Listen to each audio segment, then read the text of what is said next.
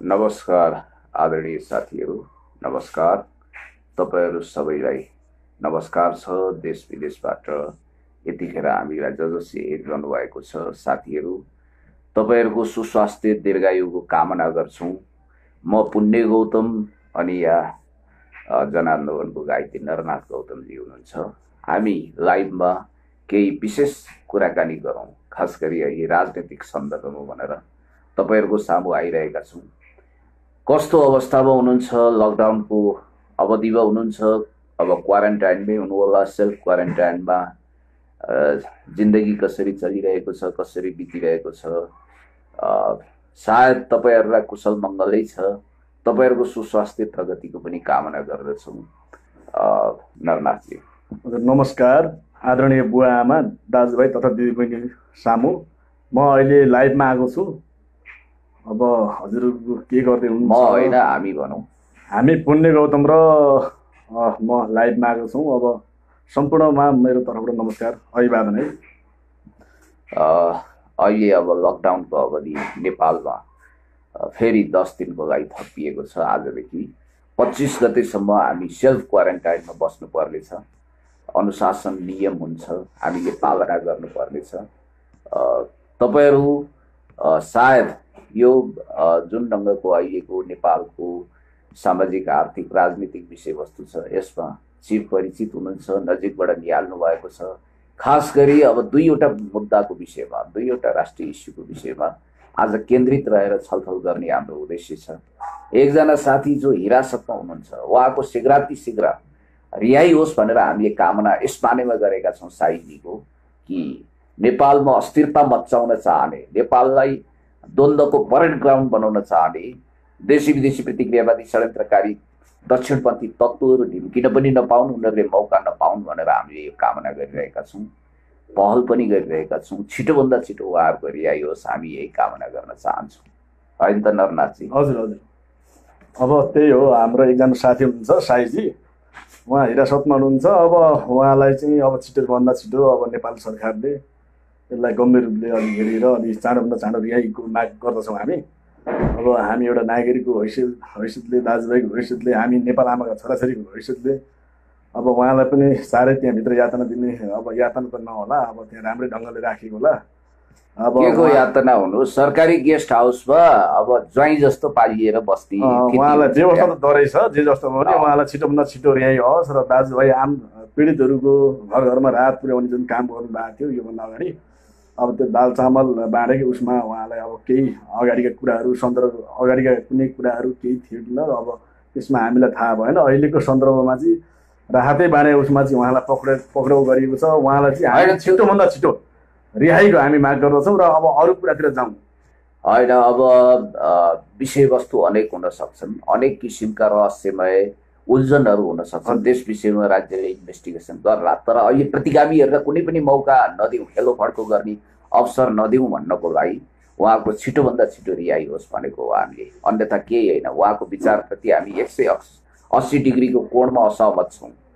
हाम्रो लक्ष्य हाम्रो मिसन हाम्रो ध्येय हाम्रो भिजन हाम्रो मिसन फरक छ। उहाँको वैचारिक हिसाबले फरक होला त्यो छुट्टै कुरा। खैर अब आज एउटा विषय के छ भने हटकेक जस्तो विषय छ। एउटा पार्टी एकीकृत भयौँ भन्दै निर्वाचन आयोग ढोल पिटाउँदै एकीकरणको ठुलो ताण्डव गर्दै एक हिसाबले भन्दाखेरि लोकलाई सुनाउँदै राता रात हामी एकीकृत भयौँ। हिजोसम्म अब रिङमा कुस्ता कुस्ती गरेको जस्तो अब उनीहरूको कार्यक्षेत्र भनेको उनीहरूको कन्स्टिट्युन्सी भनेको तराई मधेस नै हो त्यो क्षेत्रलाई आफ्नो उद्गम स्थल मानेको दुईवटा पार्टी राता रात घिउ बेचुवा र तरबार बेचुवा जस्ता अथवा काले काले मिलेर भाले खानी खेलोमेलो गरे जस्ता दुईवटा शक्तिहरू निर्वाचन आयोग गए। र दल दर्ता गरौँ भनेर ढोल पिड्दै एकदम दुनियाँलाई कटुवाल शैलीमा सुनाउँदै सन्देश पनि बाँडे।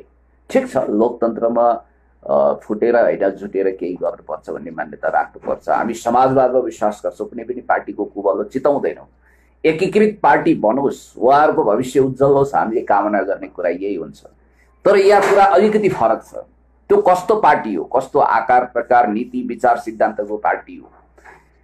त्यो पार्टीले निर्वाचन आयोगमा आफूलाई दर्ता गर्न हामी एकीकृत पार्टी भयौँ भनेर अब नामै किटौँ अब समाजवादी जनता पार्टी।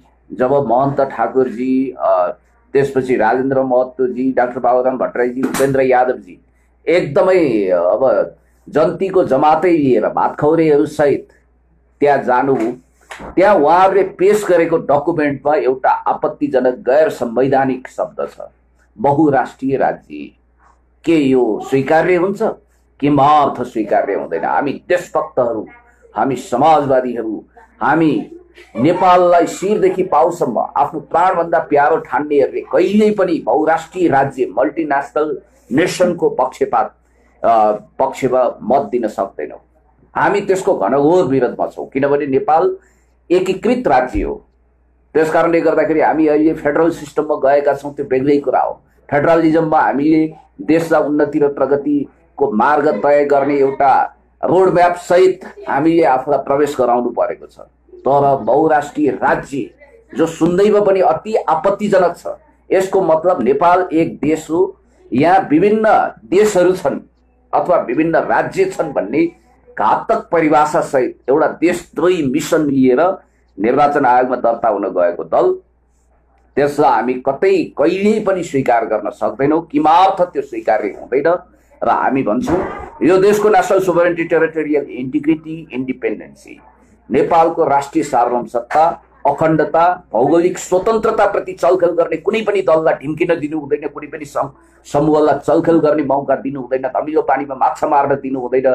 जननी जन्मभूमि स्वर्गादपि गरिएसी mother and mother and are greater than heaven आमा र देश स्वर्गभन्दा प्यारो हुन्छ भन्ने मान्यताको आधारमा यो देशको राष्ट्रिय सार्वभौम सत्ताभन्दा ठुलो कुरो केही पनि छैन। हामी अस्थायी हौँ तर देश स्थायी हो। देश र आमाको तुलना हुन्छ। त्यति प्राण प्यारो हुन्छ। हामीलाई हाम्रो ज्यानभन्दा ज्यादा प्यारो यो देश छ।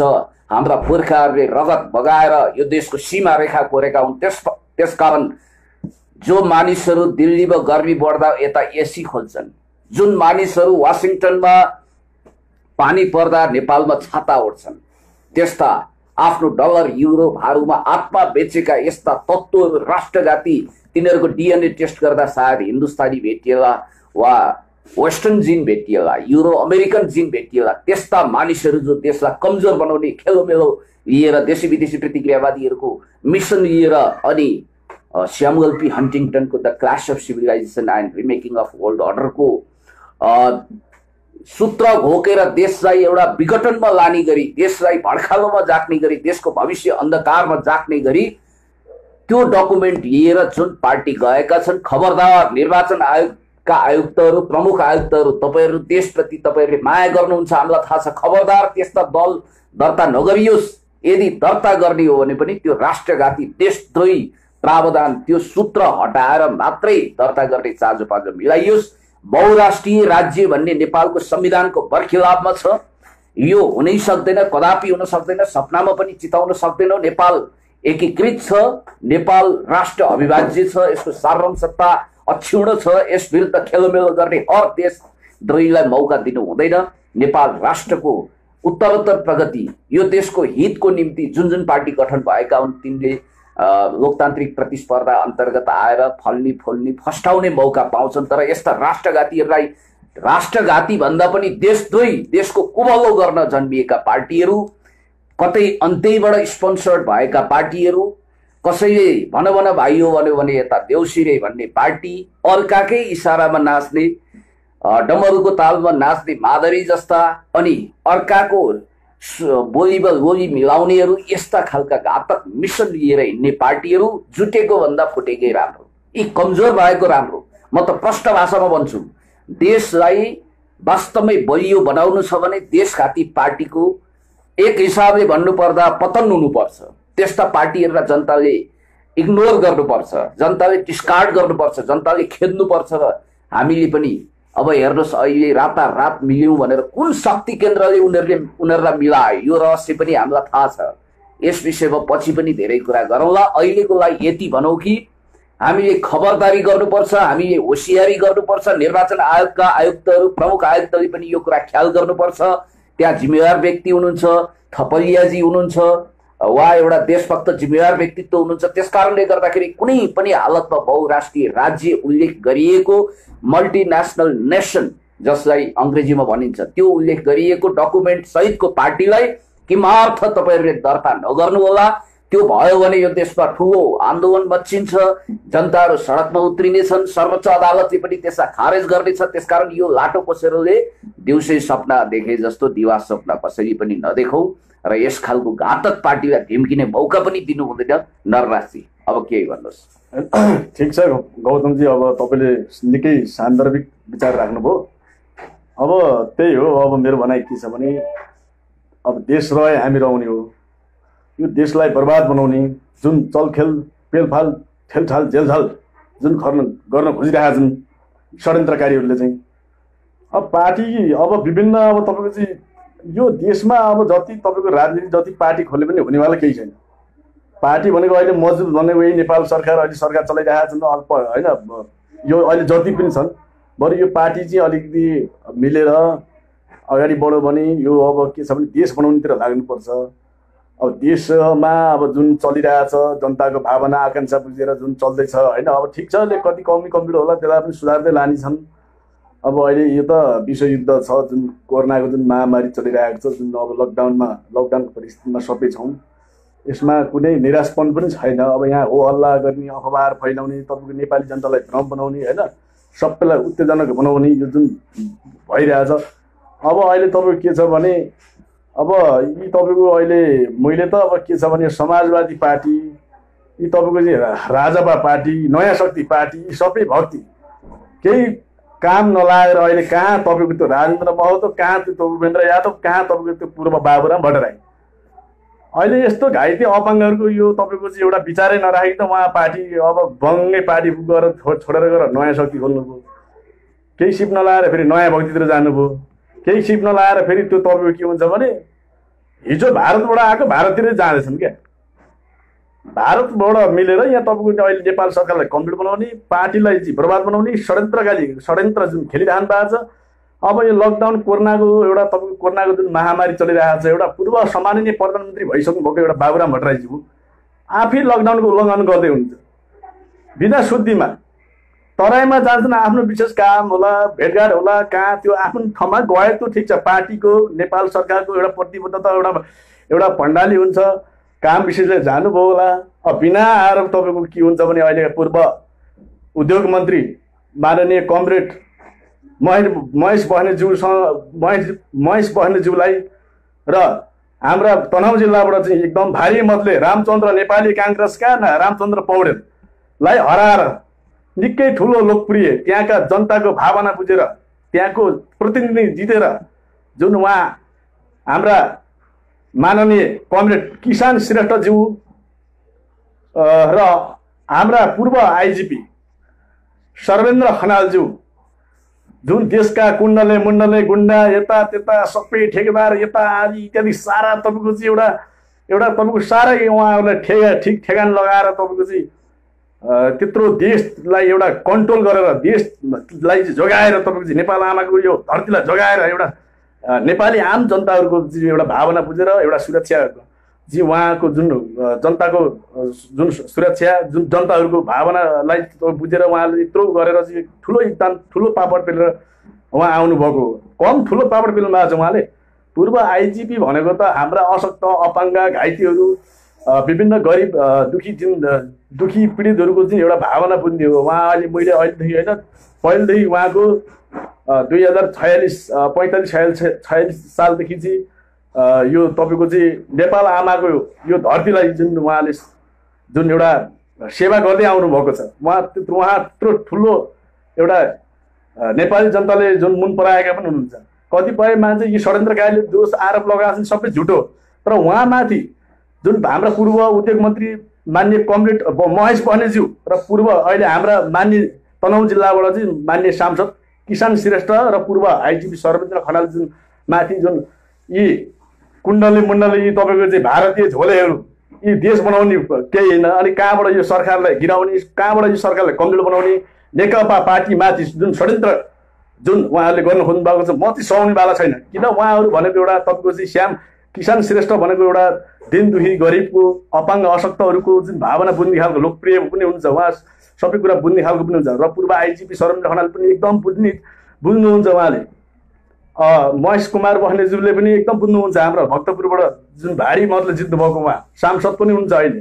पूर्व उद्योग मन्त्री पनि हो। यस्ता तपाईँको चाहिँ बिना तपाईँको चाहिँ एउटा केही छैन। तपाईँको चाहिँ प्रधानमन्त्री भइसकेको बाबुराम भट्टराई कहाँ तपाईँको त्यो उहाँहरूमाथि जुन त्यो तिन दिन अगाडि उहाँ बोल्दैछन् मलाई अपहरण गरेको पनि होइन केही पनि होइन भनेर उहाँले त्यो जुन सुरेन्द्र के यादव छ नि उहाँले चाहिँ भनिसक्नु भएको छ। यो झुटो कुरा हो सबै झुटो भ्रम हो। तपाईँहरूको चाहिँ सरकार तपाईँको पार्टीलाई कम्प्लिट बनाउने षड्यन्त्र उहाँहरूले गर्नुभएको छ भनेर उहाँले म अपहरण परेको पनि होइन। उहाँहरू आउनुभएको छ तराईमा अनि मलाई पनि जानु लाग्यो काठमाडौँ हामी सँगै आएको होइन? यस्तो कुरा गर्नुभयो। अहिले चाहिँ कहाँ दर्ता गर्न गरेर तपाईँको चाहिँ यो कोरोनाको बेलामा चाहिँ लकडाउनलाई उल्लङ्घन गर्ने अनि टेकुमा जाने दर्ता गर्ने यो के नाटक गरेको? नाटक गर्न पाइन्न। हामी फेरि के छ भने हामीलाई माया दया गर्ने। आज सबैको भावना बुझ्ने चौध सत्तर जिल्लाका अशक्त अपाङ्ग योद्धा घाइतेहरूको चाहिँ उहाँहरूले बुझ्नुभएको छ। अब हामी केही अगाडि बढ्छौँ तपाईँहरू काम छिटो छिटो छिटोभन्दा छिटो अब हाम्रो सबैको काम उहाँहरू बुझ्ने र गर्ने खालको उहाँ त्यत्रो सम्मान एउटा यो नेपाल माथि एकदम बुझेका हुनुहुन्छ उहाँहरू। उहाँमाथि जुन ठुलो अपमान गरेको छ ठुलो झेलझाल गर्न खोजेको छ भोलिका दिनमा हाम्रा पूर्व आइजिपी साहब सर्वेन्द्र खनालज्यूको भोलि विभिन्न राजदूतमा पनि आयुक्त बन्ने खालको त्यहाँ क्षमता नलेज भएको उहाँ विचार शक्तिमान हुनुहुन्छ हेर्नुहोस्। त्यस कारणले उहाँहरूलाई चाहिँ बिना तपाईँको चाहिँ आरोप लगाउन मिल्दैन। यहाँ कतिपय कुण्डले मुण्डले झोले टाउकेहरूले तपाईँको चाहिँ विभिन्न चिज आरोप र प्रत्यारोप सामाजिक सञ्जालमा देखेको छ। हामीले हामी सयवाला छैनौँ हामी नाम लिन चाहन्नौँ हामीले बुझिसकेका छौँ। कुन दिन तपाईँको के छ भने त्यस्तो नेपाल सरकारलाई चाहिँ यो लोकतन्त्र सङ्घीय गणतन्त्र लोकतन्त्रमाथि चाहिँ अपमा यो खेलबाड गर्न पाइन्न। हामी छोड्दैनौँ। हामी कार्यकर्ता घाइते हामी अपाङ्गहरू सब एकजुट भएर उहाँहरूलाई भोलि भोलि समातेर फेरि कालो मसो दलेर झुट्टाको माला लाउनु नपर्छ के छ भने यो नेपाल सरकार यो जनताको सरकार हो जनताले जनताको सरकार हो। अब बुझ्छ हामीले हो ठिक छ काम सरकारले अलिक गरेछ भने उहाँहरूलाई अलिक केही ल है यसो उसो गर्नु पऱ्यो भनेर एउटा तपाईँको होइन हामीले एउटा आवाज बुलन्द गर्ने हो नि त। हामीले नेपाल सरकारलाई यस्तो त्यस्तो यो त्यो भनेर हामीले कतिपय ठिक छ योभन्दा अगाडि कतिपय हामीले राहत हामीले पनि बाँड्यौँ नि। रा राहत हामीले तपाईँको कति दिउँ शुभचिन्तक दर्शकले सबैले हेरिरहनु भएको छ। राहत बाँड्दै नरनाथ गौतमले मैले राहत बाँडेँ भन्नु मैले तपाईँको चाहिँ विभिन्न सरकारलाई नचाहिने कुराहरू त हामीले गरेर हिँडेको छैन नि। होइन कति तपाईँको चाहिँ हाम्रा विभिन्न अरू अरू अभियन्ता साथीहरूले राहत बाँड्नु भएको छ। अब यहाँ एउटा उहाँले मानु तपाईँको दुई चार दिन ठिक छ राहत बाँड्नुभयो तर त्यत्रो तपाईँको अलिक भाषा पनि उहाँले हाम्रो एकजना सा अभियन्तै पनि हुन्छ नाम नलिउँ अब सबैले थाहा छ होइन? उहाँले अब तपाईँको चाहिँ राहत बाँड्नेमा अनि फेरि अपमाने तपाईँको चाहिँ अशब्दहरू जुन बोल्ने होइन? एउटा तपाईँको चाहिँ बोल्ने पनि उहाँले विचार राख्नु भएन ठिक छ अब अगाडि कुनै कमी कमी होला उहाँलाई अब उसमा राखेर मैले अघि भनिसकेँ छिटोभन्दा छिटो रिहाई हुनुपर्छ र उहाँ निक्लेपछि उहाँलाई अब अबको दिनमा चाहिँ यति जनताको लागि राम्रो अगाडि बढ्ने हो भने कुनै अब बोली सुधारमा चाहिँ आउनुपर्ने हुन्छ होइन? जनताले देखिसक् देखिसक्नु भएको छ। र मैले भन्दै गर्दा यो सबै अब यहाँ तपाईँको चाहिँ राजापा यी तपाईँको चाहिँ भाजपा यी तपाईँको गएर के भन्छन् यो यो समाजवादी यो के के पूर्व प्रधानमन्त्री बाबुराम भट्टराई पनि यसमा चलखेल गर्न खोज्नु भएको छ। अनि अब केही सिप नलाएर यो सरकारलाई यो पार्टीलाई भत्काउने र सर्काउने जुन षड्यन्त्र हुनुभएको छ हामी सयवाला छैन हामी फेरि तपाईँको घर घेर्न आउनु पर्ला सम्माननीय पूर्व प्रधानमन्त्री बाबुराम भट्टराईको घरमै आउनु पर्ला। हामी फेरि जनमुक्ति सेना घाइते लडाएको सबै सारा छौँ। हामीले हेरिरहेको छौँ तपाईँको तपाईँले कम धोका दिनुभयो हामीलाई। यस्तो बेलामा यस्तो घाइते अपाङ्ग अशक्त युद्धहरूलाई चाहिँ अब केही गर्नुपर्छ भनेर तपाईँले खै आवाज उठाउनु भएको? खै त? के गर्नुभयो? के नाप्नुभयो प्रधानमन्त्री हुनुभयो सारा सम्पत्ति लुटुपुटु पार्नुभयो मजाले केही सिप नलाएर तपाईँको जताबाट आयो त्यतिबाट कोल्टिन खोज्नुभयो। हामी सयवाला छैन। तपाईँ यति सम्माननीय पुरो प्रधानमन्त्री भइसक्नु भएको यस्तो जनताले माया र दिनुभएको साथ पनि दिनुभएको तर अहिले आज तपाईँ कतैतिर खेलबाट गर्न खोज्दै हुनुहुन्छ। तपाईँ कतै फेरि कतै तपाईँको चाहिँ बाहिर भारतबाट आउनुभएको भारततिर फर्किनु लाग्नु भएको छ कि नेपाली जनतालाई भ्रम बनाउनु मिल्छ? अब तपाईँको कुनै जेसिकोस् अब जनताले अब तपाईँलाई त जनताले मान्दै मान्न तपाईँलाई गन्दैन गर्न पनि छोडिसक्यो। केही सिप नलाएर तपाईँ अब ती राजा अब यी राजेन्द्र महतो उपेन्द्र यादव उपेन्द्र यादव पनि हिजो कुर्सीमा उनीहरूले के चाहिँ नापे कुर्सीबाट निक्लेपछि अहिले जनतालाई भ्रम बनाएर ए यो त्यो गरेर त्यो त्यहाँबाट गर्नु मिल्छ? लकडाउनलाई उल्लङ्घन गर्नु मिल्छ? यो अब यो यो रोल छैन। अब लाखौँ जनताले हेरिसके तपाईँको नाटक सबै हेरिसके। अब गर्ने भनेको जनताको भावना बुझ्ने भनेको अब खाडी मुलुकका दाजु भाइ दिदीबहिनीहरूलाई पनि अब यो यही सरकारले गर्छ। यही सरकार पचास वर्ष पाँच वर्ष त यो ढुक्क हो। कुनै तपाईँको स्या बागा थालमा स्यालको रोनै कसैले पनि गर्नु पर्दैन। अब यही सरकारले गर्छ जनताको भावना बुझ्छ अब मैले हामीले दबाब पनि दिएका छौँ सरकारलाई। खाडी मुलुकका दाजुभाइ तथा दिदीबहिनीहरूलाई पनि अब नेपालमै स्वदेशमै रोजगारको व्यवस्थापन गर्नुपर्छ। कतिपय कल कारखाना उद्योग कल कारखाना कसले सिद्ध्याएको? त्यो तपाईँले बुझ्नु क्या? त्यो तपाईँले बुझ्न जरुरी छ। कल कारखाना दुई हजार छयालिस साल के अरे दुई हजार सात सालको बि विचार भनेर नेपाली काङ्ग्रेसले पनि म त नामै लिएर भन्छु किन हामीले देखेको कुरा बुझेको कुरा हामीले पढेको कुरा हेरेको कुरा देखेको कुरा हो नि त। कति कल कारखाना उद्योग धन्दा कति थिए? त्यो कसले बेच्यो? कसले खतम बनायो नेपालमा। त्यो तपाईँले बुझ्न जरुरी छ। नेपाली दाजुभाइ दिदीबहिनीहरूले बुवा आमाले बुझ्नु जरुरी छ।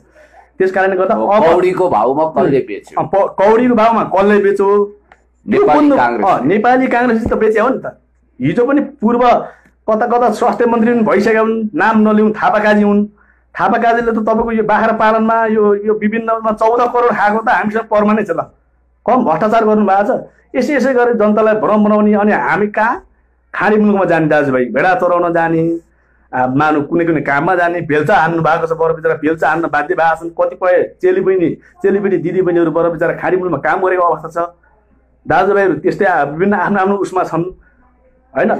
अब उहाँहरूले आज सही सत्य कल कारखाना उद्योग धन्दा सबै जोगाइदिए आज हामी दाजुभाइ दिदीबहिनी खाडी मुलुकमा जानु पर्थ्यो त्यस कारण यो अनि हामीले यसलाई चाहिँ हुन्न यो यो चाहिँ अब अन्त्य गर्नुपर्छ भनेर यत्रो सङ्घर्ष गरेर आज सङ्घीय गणतन्त्र लोकतन्त्रलाई आज हामी व्यक्तिगत ल्यायो नि त। आज सबै नेपाली आमा छोराछोरीले लडेर ल्याएको सङ्घीय गणतन्त्र लोकतन्त्र आज यही सङ्घीय गणतन्त्र लोकतन्त्रलाई चाहिँ गिराउने कमजोर बनाउने अनि फेरि के के के के गरी दुई चारजना दुई चारवटा चामल कनेका छर्देमा त्यही मान्छे पछि लाग्ने अनि यो यो भएन त्यो भएन होइन? अब नेपाल नेकपा सरकार भनेको एकदम जनताको सरकार हो। अब बुझ्छ बुझ्दै गएको छन् बुझ्दैछन् अब नबुझेको कुरालाई हामीले भन्नुपर्छ। सरकार भने हाम्रो गार्जेन हो हाम्रो मालिक हो हामीलाई हामीले मालिकलाई पनि केही ल है यो भएन बा भनेर हामीले केही सम्झाउनु बुझ बुझाउनु पर्छ उहाँहरूले पनि भन्नुहुन्छ भएन यो भनेर उहाँहरूले पनि बुझाउनु पर्छ त्यो बुझाउने र सुझाउनेतिर र मिलेर सघाउपघाउतिर नगएर तपाईँ विरोध गर्ने ए यस्तो गर्छु त्यस्तो गर्छु यो होइन। हो ठिक छ। कुनै मान्छेलाई हामीले राम्रो मान्छेलाई सपोर्ट पनि गर्नुपर्छ। उहाँले जुन कुनै कुनैले जघन्य अपराध होइन विभिन्न अपराध गरेर आएको छन् भने उहाँलाई फेरि हामी फेरि बुलन्द आवाज निकाल्छौँ। म त्यस्तो मान्छेलाई चाहिँ कानुन सम्मत कारवाही हुनुपर्छ। र राम्रो काम गरेछ भने हामी सपोर्ट पनि दिन्छौँ र उहाँलाई छिटोभन्दा छिटो रिहाई गर्छौँ भनेर हामीले भन्दै पनि गए- गएको छौँ। त्यो त्यो त्यस कारणले हामी साथ त्यस्तोमा चाहिँ अब राम्रो मान्छेलाई साथ पनि दिनुपर्छ। होइन? अब त्यस्तो जग्गा अपराध गर्नेलाई साथ पनि दिनुहुन्न। किन? अलिकति साथीहरूको प्राविधिक गुनासो आयो। तपाईँले धेरै कुरा राख्नुभयो। होइन, ठिक छ, के गरौँ भने? अनि त्यहाँबाट मैले भन्न खोजेँ। यो भ्रमतिर होइन कि हामी चाहिँ मिलेर जानुपर्छ यो राष्ट्र यो देश बनाउनुपर्छ देशलाई उज्यालो बनाउनुपर्छ। ए तपाईँको चाहिँ आठ दस दिन बिस दिन पच्चिस दिन लकडाउन हुने बित्तिकै यो भएन त्यो भएन सरकारलाई पनि धेरै कमजोरी नबनाउनुहोस् कम कमजोर सरकार पनि हुँदैन। यहाँ दुई चारजनाले फुकेर यहाँ कमजोर हुनेवाला पनि छैन। सरकार भनेको नेपाली जनताको सरकार हो। जनताले बनाएको सरकार हो। त्यस कारणले गर्दाखेरि अब हामी मिलेर जानुपर्छ अगाडि बढ्नुपर्छ। अब अझै दस दिनको म्याद जुन थपिएको लकडाउन छ अब हामीले पालना गरौँ। आ आफ्नो ठाउँमा बसेर तपाईँहरूले पालना गर्नुपर्छ। हामी पनि पालना गरिरहेका छौँ अब यस्तै त अनि अब यो गुनासो अब शुभचिन्तक दाजुभाइहरू पनि खाडी हुनुहुन्छ। उहाँहरूलाई पनि कसरी अब यो कोरोनाले जुन महामारी भइरहेको बेलामा ल्याउन पनि छलफल भइरहेछ। सरकारले छलफल गरेका छ। अब कतिपय दाजुभाइहरूले चिन्ता गरेका छन् दिदी पनि चिन्ता गर्नु भएको छ। हामी खाडी मुलुकबाट हामी उद्धार गर्नुहोस् हामीलाई भनेर फोन आइरहेछ। ठिक छ नेपाल सरकारले यसलाई कदम गरेर चाल्दैछन् अगाडि बढ्दैछ मिटिङ पनि बसिरहेछ मन्त्री परिषद निर्णय पनि हुँदैछ। केही अब दुई चार दिन अब त्यसको लागि एक्सनमा छन् सरकार तपाईँहरू ढुकाउनुहोस् तपाईँ चिन्ता नगर्नुहोस् केही पहल गर्छौँ तपाईँहरूलाई अथवा त्यहीँ तपाईँलाई केही व्यवस्थाको लागि हामी पहल गर्छौँ हाम्रो पनि आवाज त्यहाँ पुगेको छ बालोटारमा सिंहदरबारमा पुगेको छ तपाईँहरू चिन्ता नगर्नुहोस्। र यसले पार्टीले पनि गर्छ र पार्टीले पनि एक्सन रूपमा गरेछ अगाडि र सरकारले पनि यसलाई गम्भीर रूपले हेर्नुहुन्छ र पुण्य गौतम चाहिँ अब तपाईँ। एउटा युवा नेता हुनार तपाईँ कुरा राख्नुहोस् ल। धन्यवाद नरनाथजी। अब कुराहरू त धेरै राखिसकियो। साथीहरू अब लाइभमा जोडिनु भएको छ। साथीहरूको एउटा टेक्निकल गुनासो छ। यो मोबाइल चाहिँ अलिक ठाडो बनाउँ भन्ने। तर केही युट्युबका साथीहरूले तेर्सो बनाएर भिडियो खिच्दा हामीलाई सहज हुन्छ भनेर सुझाव दिनुभएको हुनाले तपाईँहरूले आफ्नो मोबाइललाई तेर्सो बनाएर कृपया हेरिदिनु होला म यो अनुरोध गर्न चाहन्छु। तपाईँहरूलाई परेको प्राविधिक अप्ठ्यारोप्रति लाइभ हेरिरहनु भएका साथीहरूलाई परेको अप्ठ्यारोप्रति हामी त्यो गुनासोको सुनवाई गर्छौँ। तपाईँहरूले जो भन्नुभयो त्यसलाई हृदयङ्गम गर्छौँ। तर पनि टेक्निकली युट्युबका कतिपय साथीहरूले यी भिडियोहरू राख्न चाहनु भएको छ। त्यस कारणले गर्दाखेरि हामीले उहाँहरूको अनुकूलताको लागि यो तेर्सो बनाएर राखेका हौँ नत्र ठाडै बनाउँदा राम्रो हुन्थ्यो। खैर राष्ट्रको विषयमा साथीहरू कोही कसैसँग सम्झौता हुन सक्दैन। आमा बुवासँग पनि सम्झौता हुन सक्दैन। राष्ट्र सर्वोपरि हो। देशभन्दा ठुलो कुरो केही पनि हुँदैन। मानवता र देश सर्वोपरि हो। अरू सबै कुरा गौण हुन्छ। सिद्धान्त विचार रणनीति कार्यनीति पार्टी आदि इत्यादि पनि देशभन्दा सानो हो। सबभन्दा ठुलो देश हो। र देशकै माता पार्टी चल्छ। त्यसकारण हामीलाई हाम्रो प्राणभन्दा प्यारो देश नेपालको एक इन्च जमिन पनि कसैले त्यो त्यसमाथि गिद्ध दृष्टि राखेको किमार्थ सही छैन हामी लड्छौँ त्यस विरुद्ध। कालापानी लिपुलेक लिम्पिया धुराको एक एक इन्च जमिन हामी नेपालमै फिर्ता ल्याउँछौँ यो हाम्रो प्रतिबद्धता हो। हामी मनसा बाचा कर्मणा मन वचन कर्मले देशभक्ति प्रति समर्पित भएका मानिसहरू हौँ। पहिला हामी देशभक्त देशभक्त त्यसपछि कम्युनिस्ट। पहिला देश त्यसपछि हाम्रो पार्टी नीति विचार सिद्धान्त कार्यक्रम रणनीति कार्यनीति अनि आउला। जिउ रहे घिउ खाइन्छ। देश रहेन सबै कुरो हुन्छ। सबभन्दा ठुलो देशै हो। देश पछाडिको पार्टी पार्टी अब पार्टी अब देश पछाडि सरकार सरकार पछाडि पार्टी यही त हो। पार्टी सरकारै बन्दैन। एकछिन तपाईँ आफ्नो देशै हो। पालोमा बोल्नु होला। अब कुरा के छ भने देशलाई पटक्कै माया नगर्ने। देशभन्दा लोकतन्त्र ठुलो हो भन्ने जमात पनि यहाँ छ। मैले कसैप्रति लान्छित गरेको होइन। नेपाली काङ्ग्रेसको सुरुदेखि नै उसको तिन पुस्ते जन्मकुण्डली पहिलाउँदा छ सालदेखिको इतिहास हेर्दा उसको निम्ति सबैभन्दा ठुलो लोकतन्त्र। मण्डलीहरूको निम्ति सबैभन्दा ठुलो राजतन्त्र। तर हामी देशभक्त कम्युनिस्टको लागि सबैभन्दा ठुलो सर्वोपरि भनेको देश। त्यसपछि मात्रै अरू कुरा आउँछ हाम्रो लागि। हाम्रो लागि सिद्धान्त र फिलोसफी भन्दा पनि ठुलो कुरो देश। अब देश रहे यो रिङमा हामी फाइट खेलौँला विभाजित हौँला। विभिन्न मतको बिचमा स्ट्रगल होला तर देशै छैन भने जिउै छैन भने घिउको के काम भने जस्तै जिउ रहे घिउ खाइन्छ अनिकालमा बिउ जोगाउनु पर्छ हुलमुलमा जिउ जोगाउनु पर्छ अहिले हाम्रो राष्ट्रियतामाथि सङ्कटको कालो बादल मड्राइरहेको स्थितिमा हामीले वास्तवमै देश विरुद्ध सुनियोजित रूपमा परिचालन भएका कसैले बनाइदिएको कसैले जुटाइदिएका पार्टीहरू यदि भोलि घातक मिसन लिएर देश र जनता विरुद्ध मैदानमा ओर्लिन्छन् भने त्यसको प्रतिवाद गर्न पनि हामीले तम तयारी गर्नुपर्छ। साथी हो हामी कङ्ग्रेस नेकपा राप्रपा जे जे भनौँ यो त हाम्रो देशको माटोभित्र उब्जिएको पार्टी होला। हामी यहीँ प्रतिस्पर्धा गरौँला तर विदेशीले जुटाइदिएको उनीहरूकै सिता खाएर उनीहरूकै गीता गाउने खतरनाक मिसन र ध्येयका साथ उपस्थित भएका नेपाल राष्ट्रको अपमान गर्ने नेपाल राष्ट्र केही पनि होइन भन्ने यस्ता पार्टीहरूको जति सशक्तिकरण हुन्छ राष्ट्र त्यति दुब्लाउँदै जान्छ राष्ट्र त्यति हानि नोक्सानीमा पर्छ डेन्जर डेन्जर जोनमा पर्छ। राष्ट्र कम्फर्ट जोनमा सधैँ हुनको लागि राष्ट्र सुदृढ विकसित एकीकृत रहनको लागि राष्ट्रवादी दलहरू फस्टाउनुपर्छ मौलाउनुपर्छ। सायद हामीलाई राष्ट्रियताको रक्षा विकास र समृद्धिको निम्ति जनताले ब्यालेट बक्सबाट समाजवादको अनुमति दिँदै दुई तिहाईको नजिक मत दिएका हुन् त्यसलाई हामी सम्मान गर्छौँ। अब जहाँसम्म मलाई लाग्छ खतरनाक कुरा छ। नेपाल टुक्रिन पनि सक्छ भन्ने घातक घटिया कुरा गर्ने मानिसहरू। ती मान्छेलाई संविधानले चुनाव लड्ने अवसर पनि दिनु हुँदैन भन्छु म। तिनीहरूलाई संविधानले कसरी चिन्न सक्छ जो राष्ट्रप्रति खेलवाड गर्छन् राष्ट्रियताप्रति उनीहरूले एउटा खालको वितण्डा मचाउँछन् त्यस्ता खतरनाक त्यो एक हिसाबले भन्दाखेरि आतङ्ककारी नियत बोकेका शक्तिहरूले ढिम्किन पनि पाउनु हुँदैन। तर हाम्रो विडम्बना हो हाम्रो संविधानको लुप होल्समा टेकेर त्यस्ता शक्तिहरू। अहिले पनि देश विरुद्ध गिद्ध दृष्टि गाड्दैछन्। देश भनेको आमा। आमा माथिको कुनै पनि झम्टा हामीलाई सही हुँदैन। हामी देशभक्त सन्तानहरू आमा विरुद्ध कसैले केही चलखेल गर्छ भने त्यो विरुद्ध अरिङ्गाल भएर खनिनको निम्ति पनि तयार छौँ। हामी अरिङ्गाल हुन त्यस बेला तयार छौँ जतिखेर राष्ट्रका बैरीहरू बाप बैरी जस्तो भएर हाम्रो देश विरुद्ध दावा बोल्नेछन्। हाम्रो जिउमा अमर सिंहको खुन बगिरहेको छ। हामी देशभक्तहरू हामी पुष्पलालका अनुयायी हौँ हामी जननेता कमरेड मदन भण्डारीको सपनाको वारिसे हौँ। हामी मनमोहन अधिकारीको अधुरो सपना पुरा गर्नको निम्ति अगाडि बढिरहेका छौँ। हाम्रा सामान्य प्रधानमन्त्री सामान्य पूर्व प्रधानमन्त्रीहरूले पनि त्यस ढङ्गले पहल गरिरहनु भएको छ र समस्त अहिले हेर्नुहोस् नेकपा जति तेत्तिस कोटी देवता भाके पनि जति धोप हाले पनि मैले प्रतीकात्मक साङ्केतिक रूपमा भनिरहेको छु नेकपाको बाल पनि हल्लिँदैन।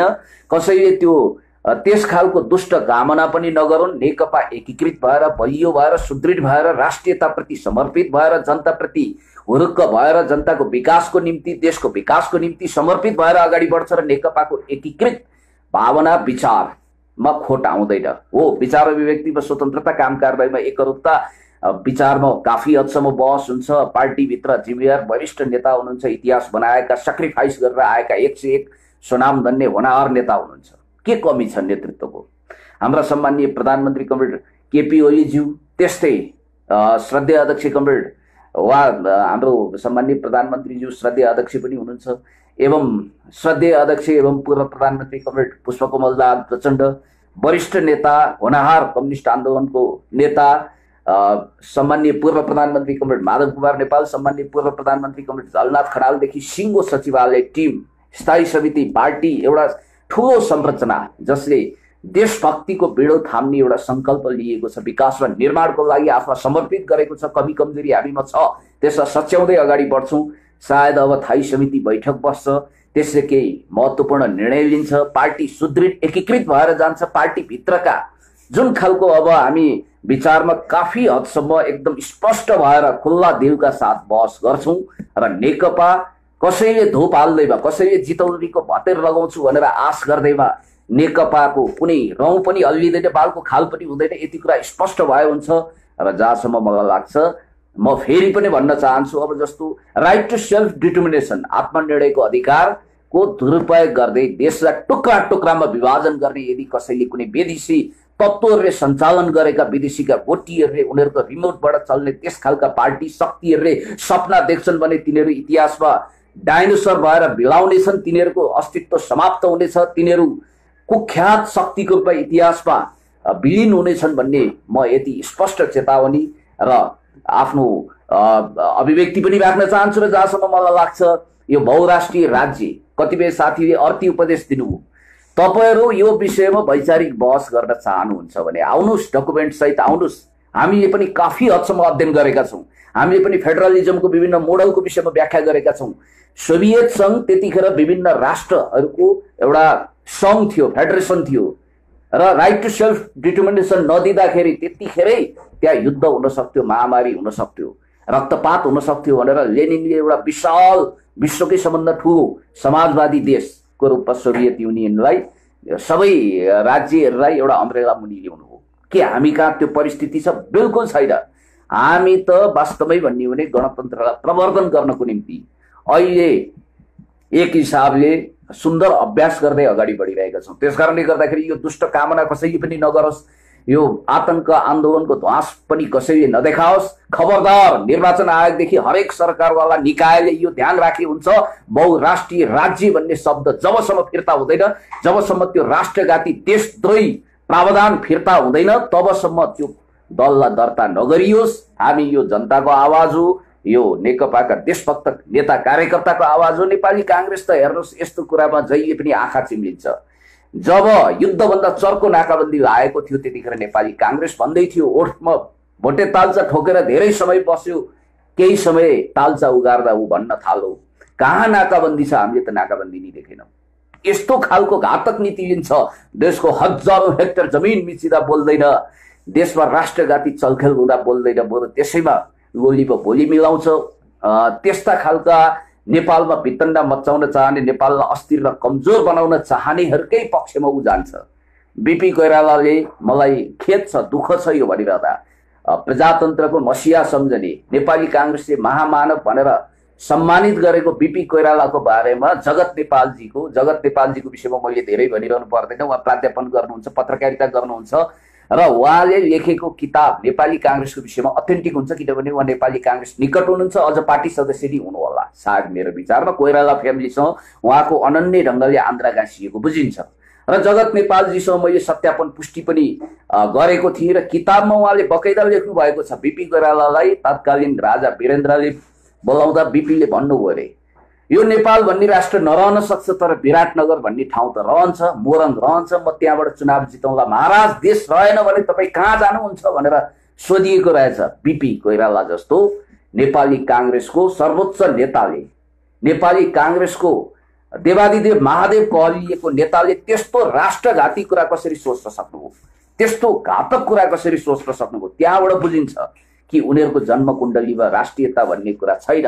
त्यहाँ राहु केतु रूपी राष्ट्रघाती चिन्तन मडराइरहेका छन्। त्यस कारणले गर्दाखेरि यो कुरालाई यहीँ थापी राख्दै अर्को प्रसङ्गमा हामी जाउँ र म यति भन्न चाहन्छु कि देश विरुद्ध चलखेल गर्ने राष्ट्रियता विरुद्ध घातक मिसन चलाउनेहरू बलियो हुनुभन्दा कमजोर हुनु धेरै राम्रो हो। त्यस्तोमा विग्रह आउँछ टुटफुट हुन्छ भने पनि त्यो राष्ट्रियताको हितमा हुनेछ। हामी कसैको नाम लिएर यो भनिरहेका छैनौँ र जसले राष्ट्रघाती मिसन चलाएको छन् हिजो कम्युनिस्ट आन्दोलनलाई धोका गरेर गद्दारी गरेर गएका छन् ती मान्छे पनि रगतको आँसु चुहाउन अभिशप्त हुनेछन् नेपाल आमाले। उनीहरूलाई श्राप दिनेछिन् मैले प्रतीकात्मक रूपमा यो कुरा भनिरहेको छु र जहाँसम्म अहिले अपहरणको ठुलो या फन्डा चलिरहेको छ यस विषयमा हामीले भनेका छौँ। अपहरण भनेको के? यो विषयमा हेर्नुहोस् यहाँ दिउँसै रात पार्ने गरी तथ्यलाई ढाकछोप गर्ने गरी हामीले कसैलाई बचाउनको निम्ति यो लाइभमा आएर बात बहादुरी गरिरहेका छैनौँ। कसैको पक्षमा ढल्किएका पनि होइनौँ कोल्टिएका पनि होइनौँ कसैलाई सात खत माफी दिनुपर्छ भन्ने पक्षमा पनि छैनौँ। हिजो उजुरी लिएर निवेदन लिएर जन्ती जस्तो एकाथरी मान्छेहरू यो लकडाउनकै बिचमा जानुभयो। उजुरी लिइएन। अब नलिनु स्वाभाविक पनि होला। किनभने अघिल्लो दिनसम्म त्यही व्यक्ति जसले कहाँ मलाई अपहरण गरेको छ अपहरणै होइन भनिरहनु भएको छ। भोलिपल्ट एउटा जमात जान्छ। तिनै व्यक्ति सहितको पार्टीका बडे बडे दिग्गज भनिएका नेताहरूलाई दायाँ बायाँ राखेर ब्रह्मा विष्णु बनाएर गइन्छ र त्यहाँ नाटकीय त्यो अभियोग पत्र उजुरी पत्र दर्ता गर्न खोजिन्छ जसलाई दर्ता गरिँदैन जो स्वाभाविक हो। किनभने तिनजनाले सातजना अपहरण गरेको अरे त्यो पनि निजको ससुरालीमा भात खाएर खाना खाएर होटलमा बसेर सुरक्षा गार्ड सहित गाडीमा आएर यस्ता कुरा सपनामा पनि विश्वास गर्न सकिँदैन। कसलाई बौला कुकुरले टोकेको छ र यस्तो घातक कुरा पत्याउने? त्यस कारणले गर्दाखेरि यी वाहियात कुराको पछाडि नदौड्यौँ साथीहरू। म यति भन्न चाहन्छु कि हामीले कसैलाई ढाकछोप गरेको होइन सर्वेन्द्र खनालज्यू जसले तपाईँहरूलाई थाहा छ मोहम्मद अफ्ताब आलम जस्तो मिनी हिटलर एउटा राक्षस स्वरूपको हाउभाउ कटाक्ष हेर्दा हिटलर जस्तो तर महिषासुर जस्तो दम्ब बोकेको तेह्र तेह्रजनालाई जिउँदै इटाभट्टीमा जलाएको खुङखार जल्लादलाई त्यसको कठालो कराप बनाउनुको निम्ति विशेष योगदान दिने राज्यमा शान्ति सुरक्षा बहाल गर्ने एउटा रोल मोडल अफिसरको रूपमा चिनिएको एउटा गजबको काम गरेको भनिएको यद्यपि उहाँका पनि कमजोरी छन्। उहाँहरू स्टेनलेस स्टिल जस्तो कहिले खिया नलाग्ने हिरामा हिरा कोइनोर हिरा जस्तो गङ्गाजी नुहाएर आएको होइन। उहाँहरूको कमी कमजोरी छ। र अब हिजो मिर्जादेल सात बेगको हौसलालाई घटाउनेदेखि लिएर अपराध नियन्त्रण गर्ने गुन्डागर्दी तह लगाउने। र एक हिसाबले रमेश खरेलज्यू जस्तै रमेश खरेल पनि एकदम होनार काबिल अफिसर हुनुहुन्थ्यो। संयोगले अब सर्वेन्द्र खनालज्यू आइजी हुनुभयो उहाँ रिटायर हुनुभयो खैर त्यो पाटो आफ्नो होला। रमेश खनाल खरेल र उहाँहरू कलिग पनि हुनुहुन्थ्यो। अब म के कुरा भन्न चाहन्छु भने हेर्नुहोस्।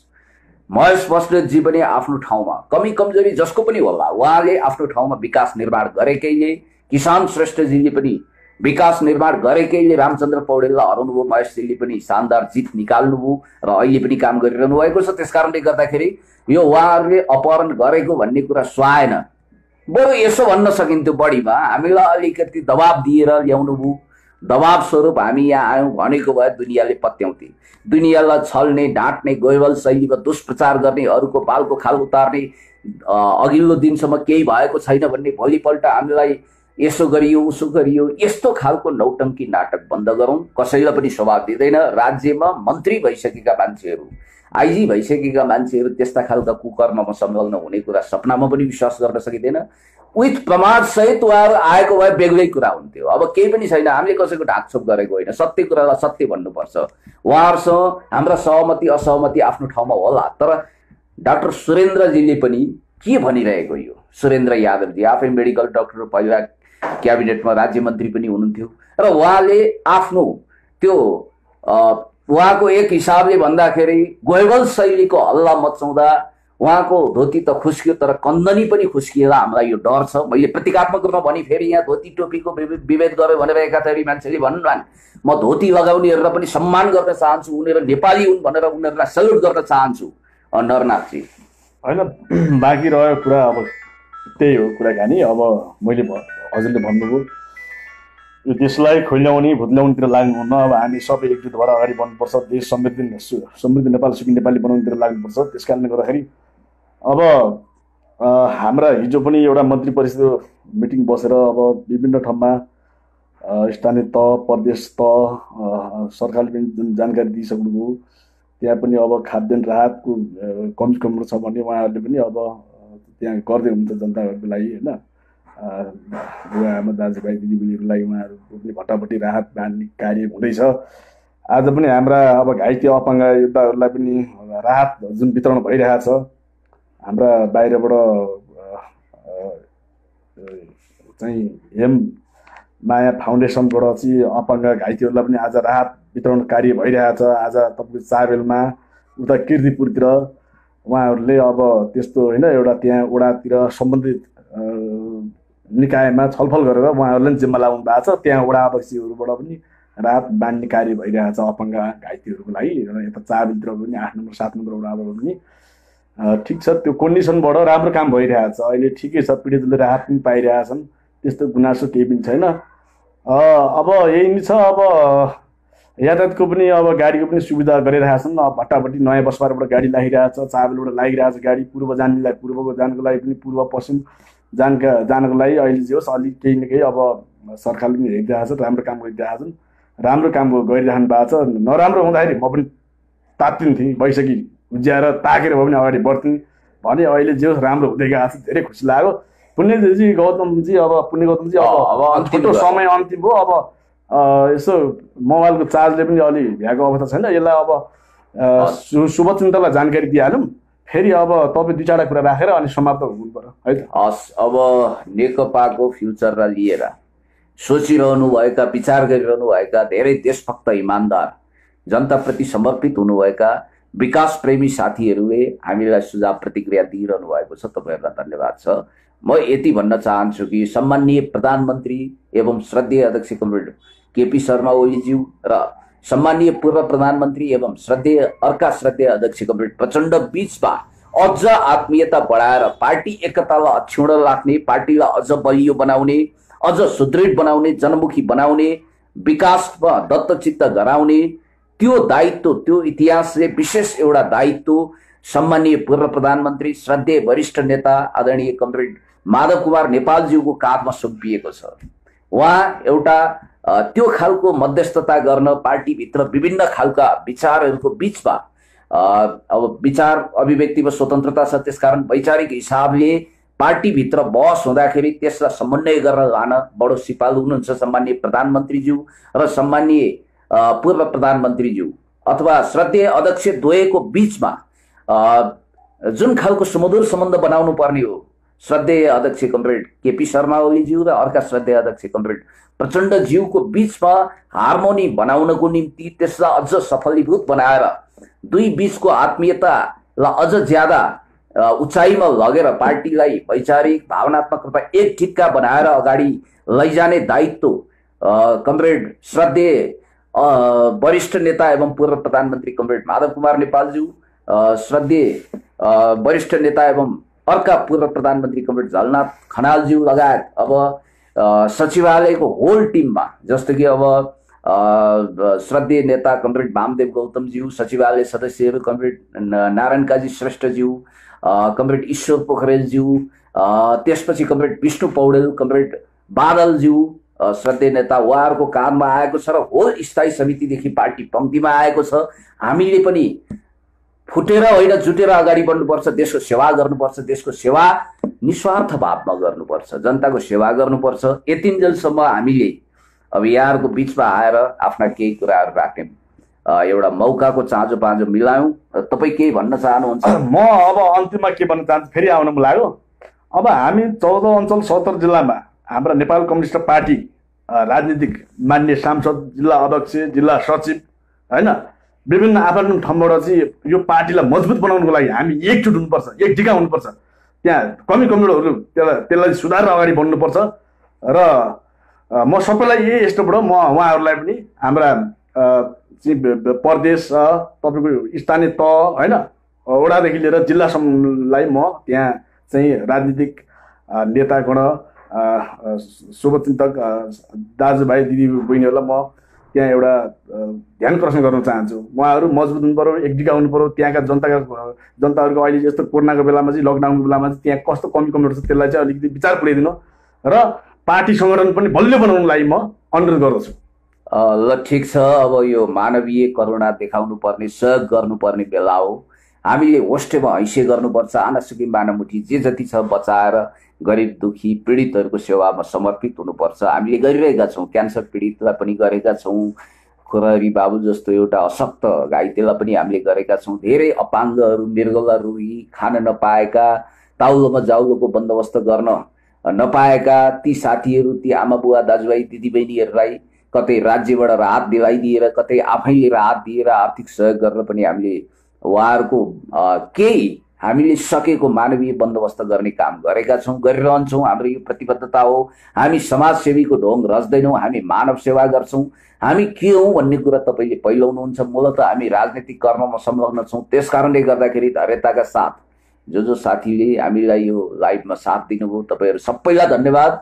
म नेकपाका साथीहरूलाई भन्न चाहन्छु यो देशभक्त समाजवादी पार्टी अनेक खालका हन्डर ठक्कर आँधी उरी झेलेर हिउँद बर्खा खेपेर बाहुन्न ठक्कर त्रिपन्न गुस्सा खाएर देश खाएर शेष भइसकेका जेल नेल भोगेका सङ्घर्षले खारिएका नेताहरूले चलाएको पार्टी हो।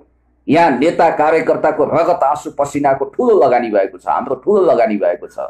यो कुनै सडकमा सामाजिक सञ्जाल चलाएर रातारात नेपाली आकाशमा झिलिक्क देखिएका धुमकेतु जस्तो रातारात उदाएका मान्छेहरूले बनाएको पार्टी होइन। देश र जनताको निम्ति एकदमै ठुलो सङ्घर्ष त्याग तपस्या गरेको विन्स्टन चर्चिलको भाषामा भन्नुपर्दा नोबल पुरस्कार विजेता विन्स्टन चर्चिलको भाषामा भन्नुपर्दा स्विट ब्लड एन्ड टियर रगत आँसु पसिना लगानी गरेको सङ्कटको ठुलो ठुलो आदि तुफानमा पनि सत्ती साल जस्तो धैर्य धारण गरेका नेता कार्यकर्ता जनताहरूले माया विश्वास र अपार श्रद्धा गरेर हुर्काएको उनीहरूकै काखपल्टामा हुर्किएको यो जिम्मेवार पार्टी हो। यहाँ कुनै सानोतिनो आदिले यो हल्लनेवाला छैन। हो कपालसम्म हल्लौला त्यहाँभन्दा बढी बालको खाल उतार्न सक्ने कसैको पनि कन्डिसन छैन किनभने जबसम्म हामी देशप्रति जनताप्रति राष्ट्रप्रति जिम्मेवार हुन्छौँ तबसम्म हामी हाम्रा कमी कमजोरी छन् भने पनि त्यो कमी कमजोरीको धुलो टकटकाएर आफूलाई सच्याएर अझ जनमुखी बनाएर अझ देशभक्त भएर हामी अगाडि बढ्नेछौँ। हाम्रा जिम्मेवार नेता कार्यकर्ताहरू एक ढिक्का हुनेछौँ। हामी विपक्षीलाई पनि विश्वासमा लिएर हामी वास्तवमै यो नेकपाको मात्रै सरकार होइन भन्ने भावका साथ यो समस्त नेपाली जनताको नेपाल सरकार हो भन्ने विचार र भावना स्थापित गर्दै अगाडि बढ्छौँ बढ्नेवाला छौँ। कसैलाई खैलाउने भुत्लाउने होइन। हामी असहमतहरूलाई पनि सहमतिमा ल्याएर राष्ट्र निर्माणको एउटा महान दायित्व र अभिभारा पुरा गर्ने क्रममा निरन्तर म्याराथन धावन गरिरहेका छौँ। हामी अगाडि बढ्छौँ। काग कराउँदै गर्छ पिना सुक्दै गर्छ कुकुर भोग्दै गर्छ हात्ती लम्किँदै गर्छ कुत्ता भोग्दै हजार हात्ती लम्के बजार। हामी सही सलामत ढङ्गले हामी एकदमै स्वच्छ विचार लिएर पवित्र भावना लिएर हामी उचित न्यायिक हिसाबले रचनात्मक तरिकाले जनमुखी भएर नियत सफा राखेर हामी अगाडि बढ्दा हाम्रो यदि काहीँ विकनेस हुन्छ भने त्यो हामीलाई देखाइदिनुहोस् हामी सच्याउँछौँ। यही भन्न चाहन्छु। अनि अर्को कुरा अब थोरै बोल्न चाहेँ मैले है। अब हामी यो बेलामा अथवा यो कोरोना र लकडाउन अन्तिम भएपछि पनि हामी यो त्यो भन्ने होइन। देश बनाउनको निमित्त देशलाई बनाउने हो क्या। अब देश बनाउनु पर्छ भनेर तपाईँ हामी सबै एकजुट हुनुपर्छ। जति राजनीति गर्नुहुन्छ जति जति दल छन् होइन दल बल सबै मिलेर एकजुट भएर अगाडि बढ्नुपर्छ। म पनि एउटा मिसन नेपालको एउटा संस्थापक दण्डपीडित अध्यक्ष पनि हो नरनाथ गौतम। मिसन नेपालले पनि अहिले तपाईँको त्यही नै भावना छ। मिसन नेपालले कुनै सरकारले राजीनामा दिए भने भने होइन मिसन नेपाल भनेको यस्तो मिसन तपाईँ हामी सबैको यो मिसन सामाजिक संस्था सामाजिक संस्था।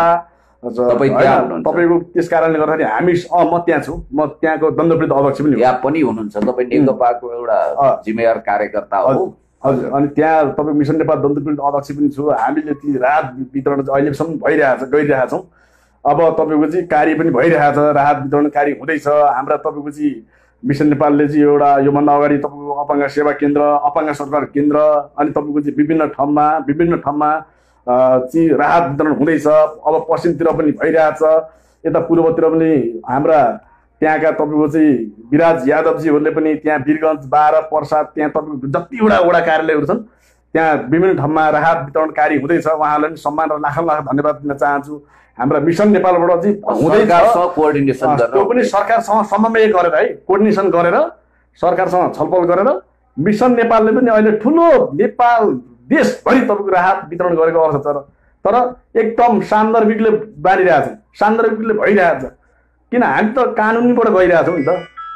त्यस कारणले गर्दाखेरि सल्लाह गरेर नेपाल सरकारसँग समन्वय गरेर वितरण भइरहेछ राम्रै छ ठिक छ। अब अझै बाँड्ने कार्य कार्य भइरहेछ। वीरगञ्ज पा- बाह्र पर्सा परवानीपुर सिमरातिर हेर्नुहुन्छ भने भइरहेछ। पूर्वतिर पनि हुँदैछ।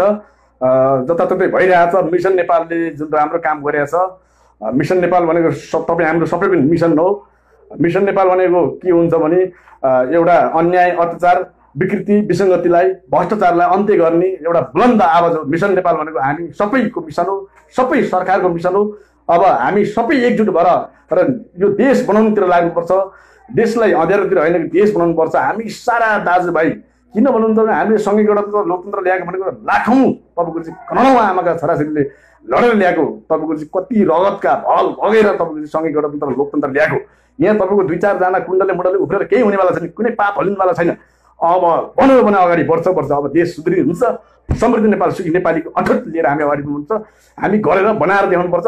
हामीभन्दा सब हामी मरेर गए पनि यो देश राम्रो होस् यो देश रहन्छ नेपाल आमाका छोरा चाहिँ अब आउने जन्मे नेपाल आमाका छोराछोरी हजारौँ लाखौँ त्यहाँ चाहिँ यो धरतीमा सम्भव हुँदैछ। अब हामी मरेर गए पनि यो देश रहोस्। यही नै जानकारी दिँदै म मिसन नेपालको दण्डपीठ अध्यक्ष नरनाथ गौतम र नेकपा नेपाल कम्युनिस्ट नेकपा पार्टीको हुनार पूर्व घाइते लडाकु घाइते पनि हो कार्यकर्ता पनि हो। म यो देशको लागि अगाडि गोली खान पनि तयार छु सरकारलाई सपोर्ट दिएर अगाडि बढ्नुपर्छ र हामी हामी मिसन सबैको मिसन हामी एकजुट हुनुपर्छ। हाम्रा पुण्य गौतमजी युवा नेता हुनार उहाँ जस्ता यहाँ तपाईँ लाखौँ युवा नेताहरू हुनुहुन्छ। कम्मर बाँधेर तपाईँको चाहिँ हातमा हातमा हात काँधमा काँध मिलेर तपाईँको अन्य दलहरूलाई पनि समेटेर लानुपर्छ। त्यही भन्दै म दुई चार शब्द यहीँ टुङ्ग्याउँछु। हवस् त नमस्कार। अभिवादन। हस् नमस्कार। साथीहरू तपाईँहरूले साथ दिनुभयो। नेपालको आर्थिक सामाजिक राजनीतिक रूपान्तरण सोसियो इकोनोमिक ट्रान्सफर्मेसनको निम्ति हामी मन वचन कर्मले प्रतिबद्ध छौँ। फेरि पनि म दोहोऱ्याउन चाहन्छु जननी जन्मभूमि स्वर्ग अदपि गरिएसी mother and motherland are greater than heaven. आमा र देश स्वर्गभन्दा प्यारो हुन्छ भन्ने मान्यताको आधारमा नेसन फर्स्ट पोलिसी लिएर great make Nepal great again. फेरि हामी नेपाललाई फेरि महान बनाऊ भन्ने भावका साथ हामी अगाडि बढ्न चाहन्छौँ नेपाललाई हामी शिरबिन्दु बनाउन चाहन्छौँ हामी नेपाली हौँ देशभक्त छौँ स्वाभिमानी छौँ हामी वीर पनि छौँ हामी बुद्ध जस्तो भाव पनि राखेर अगाडि बढ्न चाहन्छौँ शान्तिप्रिय छौँ शान्ति स्थिरता विकासको निम्ति हामी कन्ट्रिब्युसन गर्न मन वचन कर्म मनसा वाचा कर्मणा समर्पित छौँ हामी अगाडि बढ्छौँ। तपाईँहरूले जो साथ दिनुभयो तपाईँहरूको जो रचनात्मक सुझाव हामीलाई प्राप्त भएको छ तपाईँहरूप्रति हार्दिक आभारी छौँ। हस् त धन्यवाद नमस्कार। अब सुन्नेला सुनको माला भन्नेला फुलको माला फेसबुकमा सर्च गर्न साथ यो भिडियो पनि आइजाला भनौँ। यति भनिसकेपछि अहिलेको लागि मैजारो गरौँ बिट मारौँ। हस् त धन्यवाद नमस्कार अभिवादन।